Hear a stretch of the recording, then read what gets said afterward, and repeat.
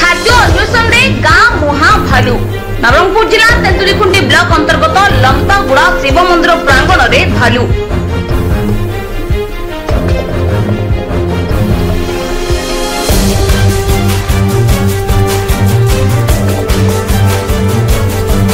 ଗାଁ ଲୋକେ ଭୟଭୀତ ଜଙ୍ଗଲ କଟା ଓ ପୋଡୁ ଚାଷ ଲାଗି ଖାଦ୍ୟ ଅନ୍ୱେଷଣରେ ଗାଁ ମୁହାଁ ହେଉଛନ୍ତି ଭାଲୁ